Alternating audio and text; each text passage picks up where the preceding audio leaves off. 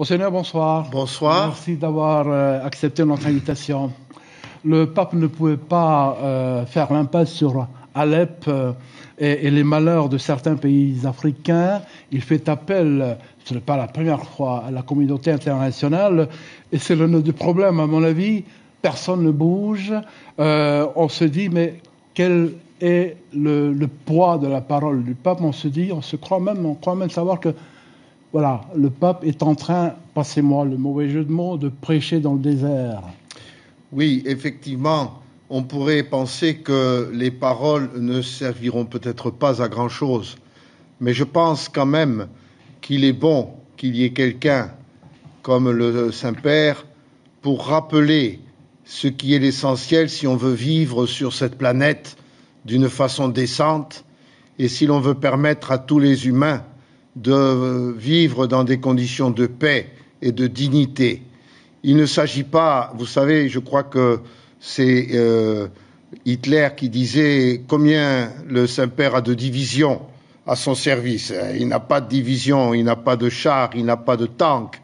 Cependant, il a une parole qui peut aider à réveiller la conscience de tous ceux qui sont en charge de la vie de notre monde. Mm -hmm. Et la parole du Saint-Père peut aider à tous les hommes et toutes les femmes de bonne volonté, et notamment lorsqu'ils sont en responsabilité importante, de réfléchir un peu plus profondément sur les buts qu'ils recherchent et sur les moyens qu'ils emploient pour essayer de faire que les populations puissent vivre de façon plus décente et dans la paix.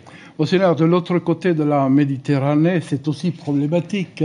L'arrivée massive des, migrants, euh, l'islamisme rampant, le terrorisme aveugle. Alors, euh, il y a quelques paroles qui sont euh, évoquées, qui sortent comme ça. Euh, je crois que savoir, c'est une partie de la droite française qui estime que, à partir de maintenant, les, il y a une menace sur les racines chrétiennes de l'Europe. C'est une inquiétude, elle est réelle. Est-ce que vous partagez cette inquiétude-là?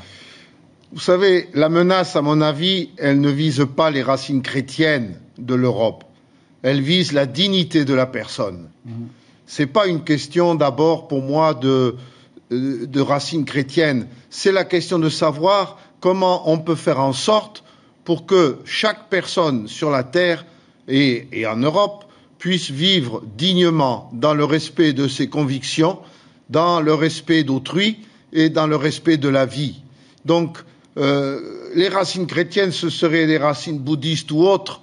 Dans la situation de violence et de terrorisme, la question serait la même. Mmh. Il ne s'agit pas d'abord de protéger une culture, il s'agit d'abord de protéger des gens, il s'agit d'abord de créer des conditions de vie en société qui permettent à chacun de trouver sa place et de pouvoir vivre, élever ses enfants, élever sa famille sans avoir à craindre euh, des attentats, des, et des, des, attaques qui mettent en péril, qui créent la peur du lendemain mmh. et qui, du coup, renferment les gens sur eux-mêmes et les poussent à se protéger. Et à partir du moment où on se protège, où on se met dans des armures, mmh. le passage, la, la relation, le dialogue.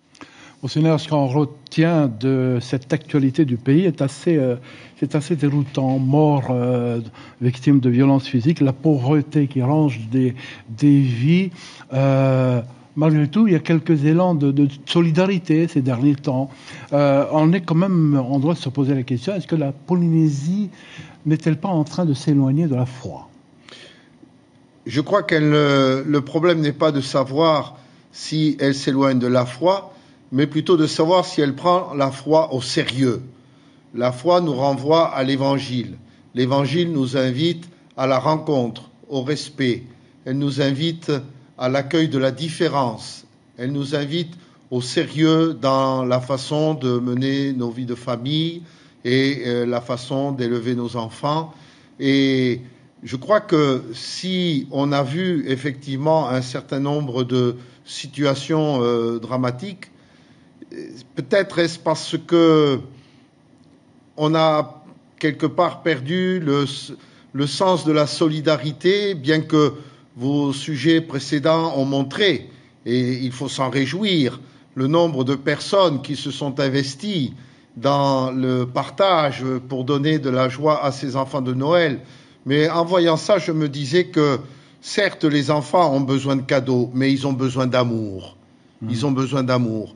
Et je pense que l'Église devrait davantage insister sur le fait que la foi ne nous enferme pas dans les églises et dans les sacristies. Elle nous invite sur les chantiers du monde, elle nous invite sur ces chantiers où on a besoin de gens qui aident, qui tendent la main, qui sont solidaires au nom de leur foi. On a, surtout besoin de gens qui guident réellement les gens. Alors on a besoin aussi de, de, gens qui prennent au sérieux euh, la, les destinées de leur pays et, et j'ai toute confiance dans les personnes qui le font actuellement, mais je crois que on doit toujours se demander qu'est-ce que l'on cherche lorsqu'on devient en responsabilité, quelles sont les valeurs que l'on veut mettre en, avant.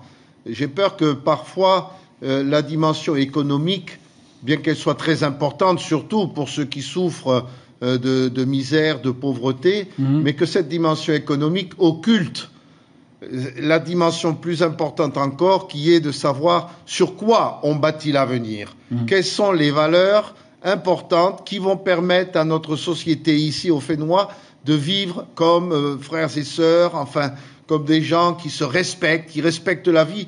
Moi, je suis frappé de voir comment on perd le sens du respect de la vie. Mmh. Un enfant de 13 ans que l'on retrouve comme ça, ça veut dire quoi au niveau du respect de la vie d'autrui? Mmh comment on va essayer d'aider les gens à découvrir d'abord ce qui est essentiel et qui est le moteur de leur action? Enseigneur, juste un petit mot. Oui. Un petit message à ceux qui nous regardent. Un message de Noël Oui. Eh bien, écoutez, j'invite, moi, à travers cette fête de Noël, à l'espérance. La fête de Noël, c'est Dieu qui se fait homme. Il donne à notre humanité ses lettres de noblesse. Il nous a fait à son image et à sa ressemblance, et je crois qu'on a encore du chemin à faire pour y arriver. Mais il ne faut jamais désespérer. Et je souhaite à tous les, toutes les personnes qui habitent ici de pouvoir retrouver euh, cet élan qui les fait s'ouvrir aux autres, tendre la main, être solidaire, et de la sorte, alors la foi devient une réalité et la bonne nouvelle devient un Noël tous les jours de l'année. Je vous remercie.